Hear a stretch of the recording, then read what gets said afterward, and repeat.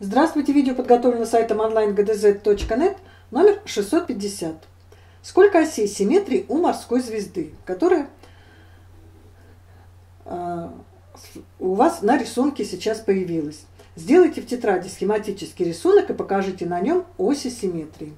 Итак, мы видим, что морская звезда состоит из, это как пятиугольник, у него пять вершин и осей симметрии будет тоже 5. Если у вас есть вопросы или пожелания, то оставляйте свои комментарии под видео.